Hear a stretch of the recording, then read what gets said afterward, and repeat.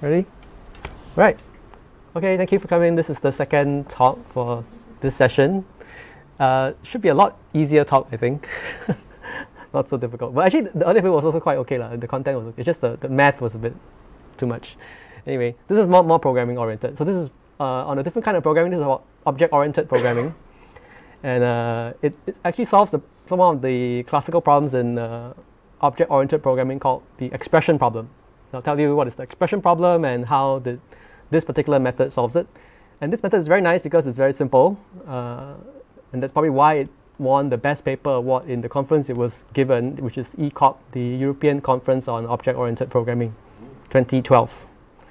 Oh yeah, and also I'd like to uh, thank Professor Storm for allowing me to use his slides. This is slides by Professor Storm uh, at the Joy of Coding 2014 conference.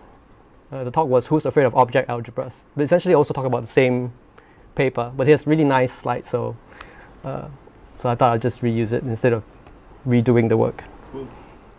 Uh, this was the original cover slide of the talk.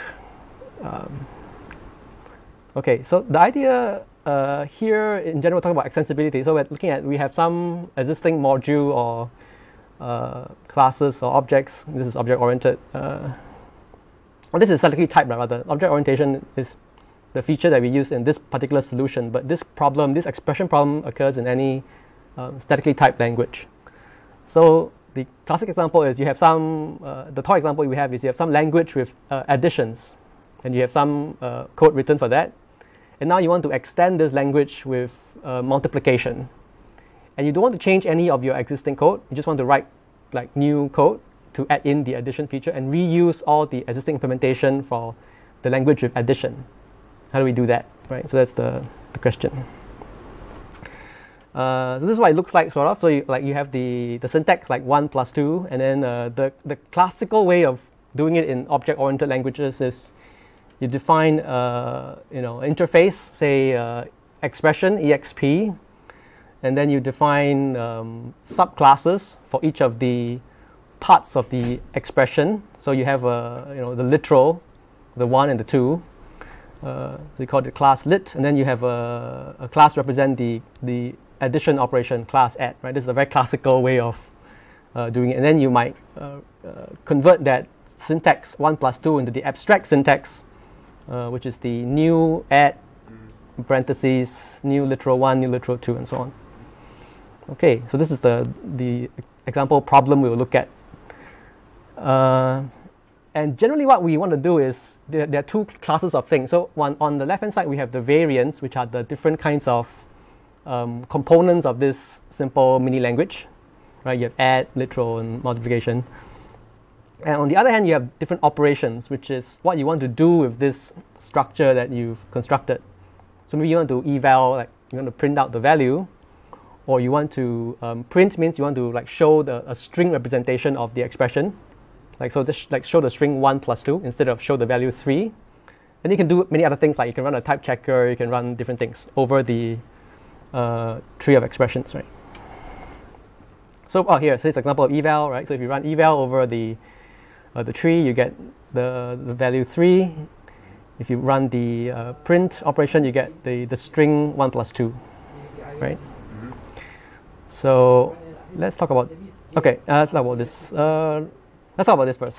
so okay, the expression problem was the coined by Philip Wadler in an email to the Haskell mailing list, I think. So it is a problem with um, statically typed languages. I think dynamic typed languages have no, have no issues with this. So the idea is you want to add new cases, which is new variants, like the multiplication. And then uh, you want to also add new um, operations, like maybe, you know, instead of eval, you have print and type check and so on. So you have these two ways of extending the problem, right? And you want to do that by writing new code without changing existing code and then uh, obviously that means without recompiling because you didn't change them, and as well as you still have the static type safety, right? So all the all the types uh, uh, work correctly. This is called the expression problem. Okay, and then uh, so yeah, you have different languages, and uh, actually the examples language just now was in, shown in Dart. Uh, so in particular for all languages, uh, they work very well in adding new variants. So that's what it means here, right? So all languages like um, you know Java, C Sharp, and so on work very well adding new variants because they are like new um, like subclass, new implementations of your interface, like your, new class multiplication, right, and so on. Uh, but they're not so well in adding new uh, operations because you can imagine operations will be like uh, methods in your the classes, right? Like your add class, your multiplication class. So to do another like operation like um, print, you're gonna add a print method to all these um, classes. So that requires actually you need to change all the, the classes. Yeah, you recompile code. Yeah, you compile code. So that's not that's not that doesn't solve Yeah. that doesn't, satisfy the expression problem. Uh, the other way around for functional programming languages like uh, Racket, which is not here, but uh, anyway, so Haskell, ML, F Sharp, or Camel, and so on. Uh, it's easier to add new functions like uh, because you usually pattern match over the, the objects and then you can just define new um, new functions like you can define eval function, define a print function, define a uh, define a type check function or whatever it is. It's easier to add new functions, but harder to add new um, uh, types or variants, right? Because if you add a new variant, you change all your existing functions to have a new case, right, to handle the the, the new variant. So it seems like there's some um, like trade-offs. Like if you use one and the other, right? You can extend in one axis but not the other. So the, the question is, can we extend in both axes in, in a very simple method? So that's what we're going to do uh, in this particular paper. Okay, uh, which is called object algebras. Uh, It, uh, it just has a very complicated name, but it's actually a very simple thing. Uh, so you can think of it as a design pattern, you know, a way to structure your classes uh, using something called abstract algebra. I'll explain what it is. And that solves the expression problem. And the interesting bit about this solution, is not the first solution, um, but it's a solution that uses very little um, advanced features of languages. So you, you'll see as I tell you the solution. Okay, uh, yeah. So let's look at, okay, so this, is, this again is the classical example of how you do it in the OO language, right? You define uh, a class for each of your variants. Uh, so okay, I sort of went through this part. yeah, yeah, never mind. Okay, uh, yeah. So, so OO does it the, the horizontal way, right? You define all the variants, but you can't do the other part. And then one way we can also do it with, with the operation is something called the visitor pattern, but I guess I won't dwell too much into that. Not really a crucial part of the paper. Uh, but you can do like the FP style using something called visitor pattern, if you, if you know what that means. If not, um, never mind. You can also do the, F, the, the functional programming style in, in all languages lah, with this uh, visitor design pattern. So it has the opposite problem, as I said. It doesn't work well for adding new variants. Okay. So let's come to the solution now. So this is the interesting bit. How do we solve it? And what, what is the insight actually? Uh, and this is the paper, right? Uh, so what is the insight? So again, let's look at look look at the original solution. I mean the original, the classical way of doing it with OO, right? You have like print and eval methods in your object, right? And then if you want to do another like method like uh, type check, for example, you got to put another add a type check method to all your objects, right? So, um, so it seems like our objects are getting more and more fat. So the, the, the solution turns out to be let's make custom design objects. So instead of one object with many methods, one method for each of the operations we want to perform, um, we will use uh, sort of custom object or single purpose objects as it says here on the slide. So for the problem of printing, we will just have uh, one object with the print method. And for the problem of doing eval, we have another object with the eval method. So separate objects instead of mushing it all into one thing. So sort of like a factoring, right? We, we break it into the, the parts. Because actually print and eval are sort of separate. They don't really like inter they don't interact with one another, right? They're actually quite independent code. So we should perhaps do them separately instead of mushing them together. If we do that, then it turns out we can actually do it, uh, we can actually solve the expression problem. So let's see how we're going to do that. So as I said, we need, we're going to have um, a different object each time, right? So for print, we have an object that knows how to print, and for eval, we have a different object that knows how to eval. So they're not the same thing. So that means we cannot like construct the objects uh, directly, like new something, because then, then that will fix the object, right? So we need to change the object depending on what we want to do. So for that, uh, this is also some, somewhat familiar pattern. It's called the uh, like a factory pattern, right? An abstract factory pattern in this case, actually, which means um, instead of calling the constructors of the object, we use um, um, a method. So in this case, the lit method returns you the literal object, and the add method returns you the, the, the add node or add object, right?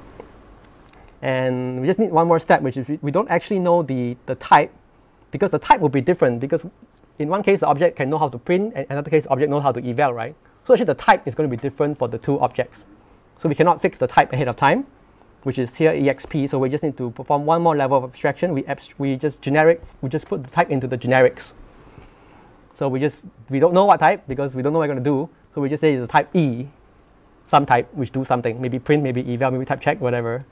So we have this, uh, now we call it the generic factory because uh, it's a factory that produces something of type E, which we don't know what it is until we need it, right? Does that make sense? Okay, so actually this is all we need, kind of, more or less. Okay, let's see. Uh, so where, where is the link with um, algebra, right? Uh, turns out way back uh, in the study of uh, ADT's abstract data types, in the, in the sort of formal, formal mathematical study, there's this notion of algebraic specification. This is the thing on top. So uh, an algebraic specification of a data type has things like a signature. It's a little ML-ish, I guess.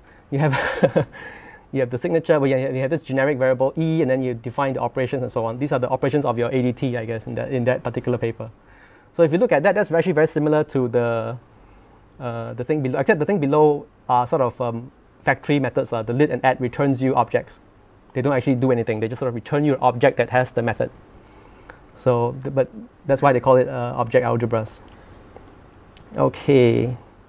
So let's actually see an example first. So before we get into the last part, uh, let's hope this doesn't mess up the recording. But anyway, so let's see an example of implementing that type. So we could define a type. Uh, okay, here, here the name a little bit different, but think of val as lit in the presentation.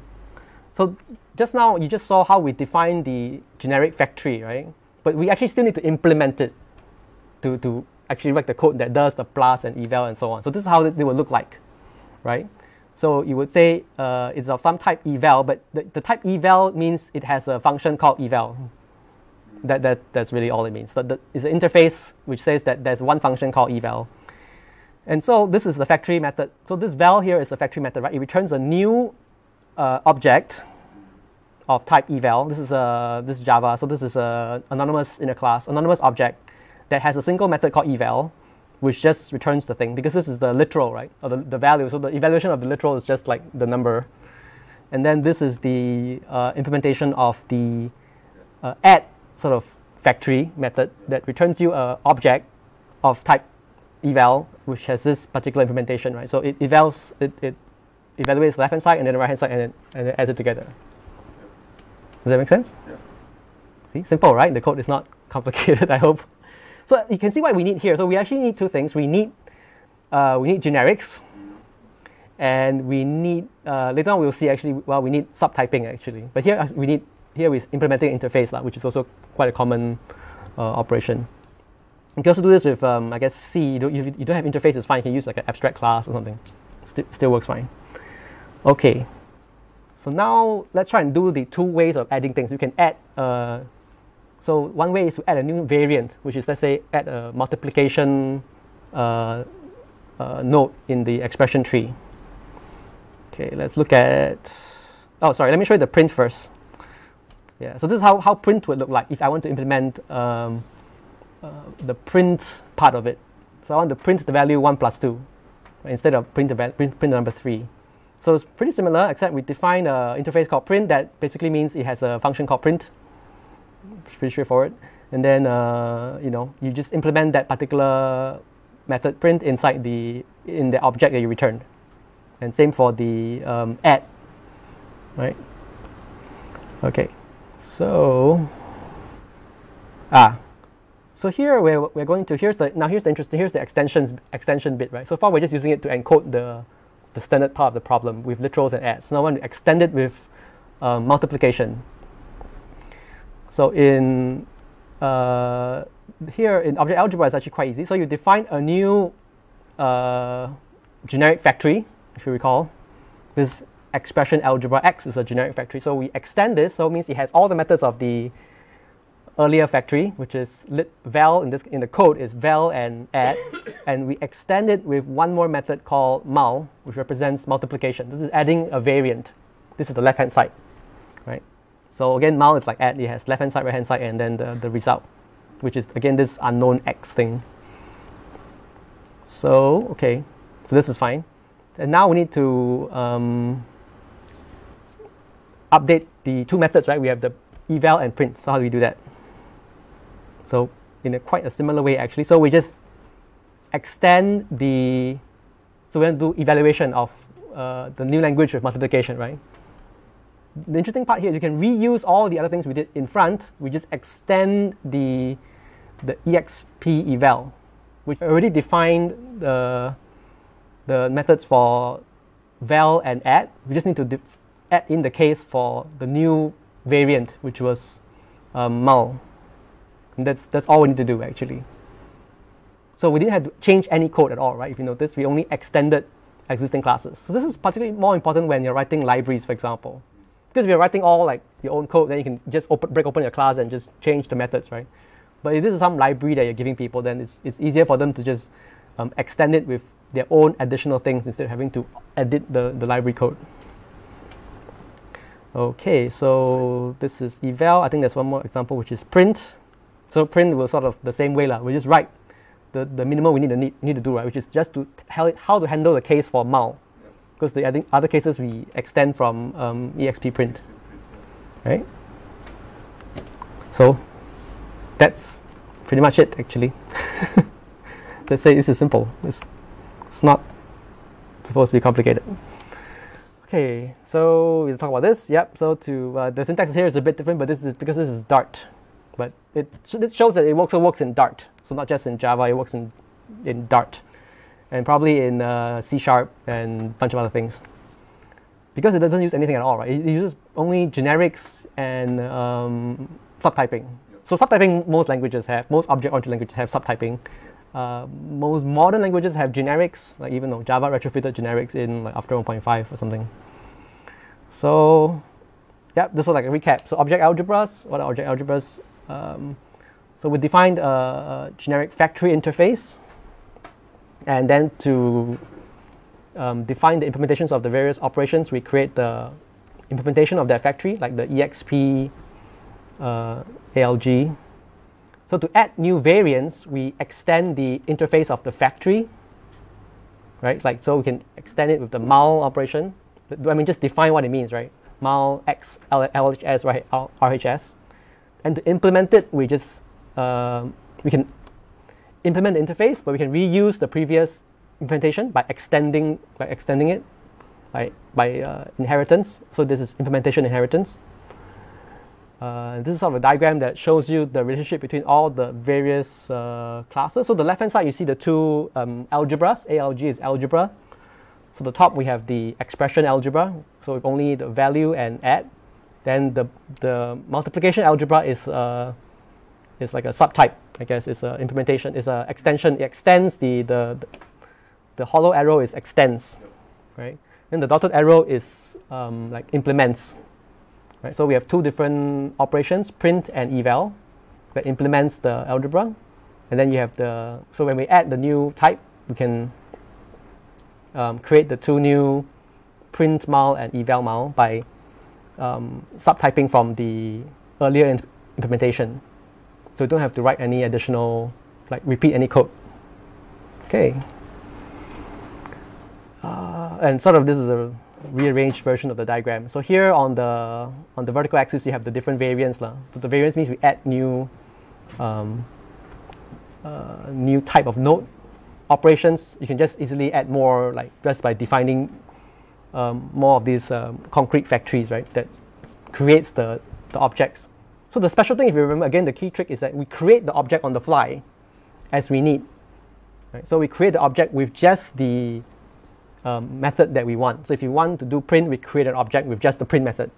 If you want to do eval, we create an object with just the eval method. So this scales because then you can have objects with different kinds of methods. Yeah. Okay, and in summary, uh, this is a very simple solution to the expression problem. So earlier solutions actually require other things like um, bounds on generic. So some languages support bounds. You can have upper and lower bounds on your generic parameter. Um, Java supports, I think you can say E extends some type T, or E is a super or some type T, so that uh, is a little bit more complicated. The other features that some other solutions use is wildcards. So you have you can have things like question mark uh, in in the type, you get like any type in the generic. Uh, that's also a little bit more difficult to use. So this particular solution doesn't have any of these features. It uses a concrete type. So we always say uh, it's a it's an expression algebra of type E or X. Right? We don't have to say E extends some other thing or using more complicated uh, type features. We just need we need just simple generics uh, is good enough. Yeah. For for I think generics in uh, as in like templates in C++ is good enough actually for this purpose because C++ doesn't yet support the idea of uh, bounds, right? Which it may, I think, uh, in later versions. Uh, okay, and so we should use object algebras because we solve the expression problem. Okay, that's all. Yes, question. So there's a problem. Yeah. What happens when you extend it in parallel Mm-hmm. and then you try to join them in? Then you need multiple inheritance. Ah, good question. What, what do you mean? by- What do you mean by join them in? Say again. say, Say let's say you start with the add, right? Yeah. So you you have a mouth that extend from add. Yes. And then let's say you have another one, division, that also extend from add instead of extend from mouth. And then now you want uh, you want something that support both mouth and division. Ah, okay. So let me see. Because they are they are they, they have a it's like a diamond, the, the diamond inheritance problem. So there's, there's another there's another example actually in the paper they discuss this. Uh, they didn't discuss this in the talk. Um, another way they, they discuss in the paper is like this. So let, maybe a, a more because that's a bit, little bit weird example. So another example maybe you have a you have like integer expressions and you have boolean expressions. They're sort of different realms. Right? Boolean will have like and and different operations, right? And then then you want to combine the two uh, algebras to have a language that have both integers and booleans, for example. Yeah. So that may be a more uh, slightly more realistic scenario. How would you do that? So in particular in Java, you can't really do it without rewriting code because you cannot have uh, there's no multiple inheritance, so to speak. Uh, because I mean, in Java specifically, it's a single. So for that, you can actually solve it with languages with traits or mix-ins, like Scala and maybe maybe Dart. I don't know. But anyway, uh, so not specifically in Scala. In Java, you cannot you cannot solve that particular uh, case. So you could do it with composition as you as you normally would. So you can you can have a you can have an int bool language, uh, int algebra, and, and in Java I guess you would have to have two lo- like local variables. Like do it with composition. I think that's the, the, the cleanest way, right? So you have internally as two uh, local factories. One is the int algebra factory. One is the bool algebra factory. And then for each of the methods, it will sort of delegate to the appropriate uh, internal factory. So you get an int bool factory. Yeah. But yeah, yeah, you have to sort of rewrite the, the methods to delegate because there's no way to delegate automatically, right? But some languages say you can say these methods will use this like object. This, superclass. Yeah, these are like members, right? So you have members of this uh, the, this int bool factory, then you can just use it. But in Java, I guess you have to say like you have to say explicitly, lah. Because there's no sort of delegation feature. Yeah. But you can still combine actually. Yeah. Yeah, probably need some boilerplate for composition. Yeah, yeah. You need to Like, I think- delegate. I think in practice, this could come out uh, a lot more often because new features can be added uh, in parallel. People Mhm. can de- develop different kind of language features uh, separately, and then they Yeah. want to join back. So, Yes. so if you use inheritance, they could have like multiple branches and Yeah. join. It's true. Inheritance here mainly is for the purpose of reusing the the code. So if you have language with delegates, you could technically also use delegation. Yeah, you don't have to use inheritance. It's just that in, in the examples here in Java, we, we can only use inheritance if we don't want to rewrite the the methods. Yeah. Other questions? It's, it's interesting because Yes. when you're working, you you you end up coming coming up with like half baked solution of something similar, but Uh-huh. because the problem was never formalized, like in my mind, I, Okay. I never knew this was what I was struggling with. It's like, Okay. yeah, but I want to do this, but I want to do this. Ah, Right. it's so annoying. And then you come up with some strange solution for it. Now you realize actually this would have been a much nicer and cleaner fit if you had known about this problem and this solution. This is quite quite a bit of a leap of insight in the sense that you cannot bake your objects in. You cannot like new like construct the objects. Correct. You have to use another function to construct it. To construct that, yeah. So there's this additional level of indirection. Like here we have to call all these methods. So for example, if you're really writing a language, your parser will have to take in as input the the factory object and use that to instantiate the stamp out the nodes. Yeah. But then the nodes can only do one thing. So if you need another kind of node, you have to put it into the parser again to stamp create a different tree. So these examples are for like like uh, trees and stuff. It doesn't have to be. It's really anything where you have variants and operations. doesn't have to be like language trees or whatever. It's just that this happened to be the the example from uh, the expression problem Yeah. paper. Yeah. Yeah. In the functional languages, I think there's also another solution is which is open sum type. I think it's Hmm. Camel where you can have an open-ended sum type that you add new variants later on. Ah, yes, that, that's also possible. Open classes, lah. In general, there's some there's some languages with open classes, so I think that's similar, right? Where you can Yeah. add add variants to the sum type. Yeah. Yeah, that's true. I guess here they're talking about the fact that if you, for in that case, is the type is still the there's still only one type, right? I guess like when you extend the type, does it become like a separate type, or is it still the same type? Still the same type. Uh, It's a bit like it, it, it become a bit like object oriented because hmm because then you you can you you have a, a default case Right. for handling unknown type, unknown Mhm. unknown unknown variants. Okay. So so then when every time you measure measure measure variant value, you have to always have a, a default case. A default case. Okay. Yeah, yeah, that could work too. Actually, Yeah. it's just that that feature is probably not available in most object-oriented languages. Yeah, yeah. Can have it. Yeah. Another another new language features probably can help is also like row polymorphism. Hmm. Yes. Because you can define a records and Yeah. then you add in a new record and then you can also combine combine these type of uh, records of factory functions. Yeah. No, I mean this is not the only solution, as I said. So I mean, I think that the fact about this one is that it's just it's it's simple enough that it works in most like existing languages, mainstream languages. It doesn't need any language changes. So uh, that that's the beauty of this particular solution, I guess. Yep. Yeah. So, thank you very much. All right. Thank you. Well, next meetup in a month, if we have people. Thanks for both of you for doing necromancy and reviving the meetup. Hopefully we'll have more people next next month. Maybe find someone. Uh, and you can always blame me for being the lazy person to not bother, you know, advertising this one too much. So it's my fault. Isn't there a big like internet meeting Yeah, next the month? Yes. IETF. Maybe you can find someone Yeah, to hype present. it up then. Yeah, can maybe. But that one is like second week.